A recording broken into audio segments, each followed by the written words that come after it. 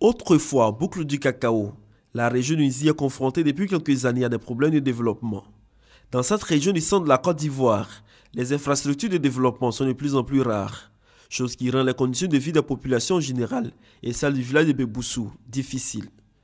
Situé dans le département de Bokanda, le village de Beboussou écoule difficilement ses productions agricoles, faute de routes praticables. Un véritable manque à gagner pour des populations qui ne vivent que de l'agriculture. La voie d'accès, c'est un véritable calvaire. Pour atteindre Dimbokro, une voie d'environ 30 km, nous faisons près de 2 heures.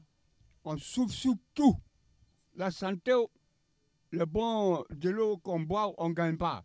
Il faut école, hôpital, et puis courant. On donne dans le, dans le noir. Au problème de voirie, il faut ajouter les pannes récurrentes des seules pompes villageoises à servir les populations. L'école primaire, construite dans les années 60, n'existe plus que de nom aujourd'hui. Les salles de classe sont insuffisantes pour accueillir le flux d'enfants nés dans ce village. Nous avons des difficultés dans cette école parce que ces bâtiments sont très vieillissants. Lorsque le temps est menaçant, nous sommes obligés de libérer les enfants.